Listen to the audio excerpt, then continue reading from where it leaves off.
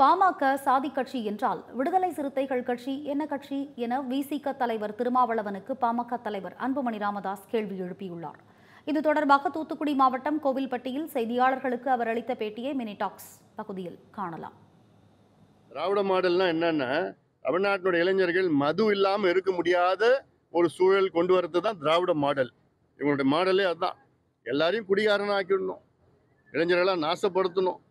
மூன்று தலைமுறைகள் நாசப்படுத்திட்டாங்க. மது ஒழிப்பு மாநாடோ மது ஒழிப்பு போராட்டமோ மது ஒழிப்பு கூட்டமோ யார் நடத்தினாலும் நாங்கள் ஆதரிப்போம். அது திருமாவளவன் நடத்தினாலும் சரி வேறு யார் நடத்தினாலும் நாங்கள் ஆதரிப்போம். ஏன்னா இது எங்களுடைய கட்சியினுடைய மைய கொள்கை அது.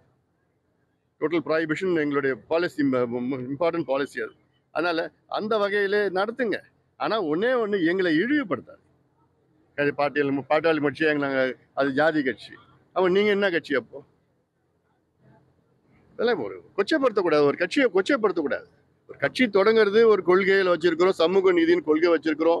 நீர் மேலாண்மை கொள்கை வச்சிருக்கிறோம். வேளாண் வளர்ச்சின்னு இருக்கிறோம் மது ஒழிப்புன்னு இருக்குது. புகையிலை ஒழிப்புன்னு இருக்குது.